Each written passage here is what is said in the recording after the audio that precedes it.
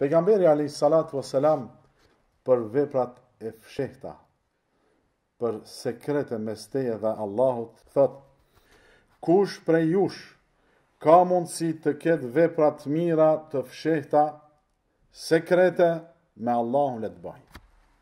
Të gjitha veprat e mira Allahu subhanahu wa ta'ala i shpërblen. Mirëpo veprat e fshehta, ato që nuk shihen nga sytë e njerëzve, ato shpërblehen ndryshe. Rasulullah sallallahu alaihi wasallam njëherë i thotë Bilalit radiallahu anhu çfarë vepre mendon se të çon n'xhennet, sepse unë e kam dëgju krismën e nallave tua në xhennet.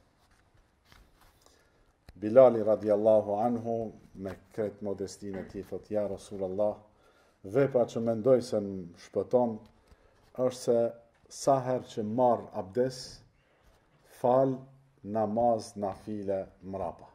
Vetëm Bilali e ka dit edhe Allahu Azza wa Jall.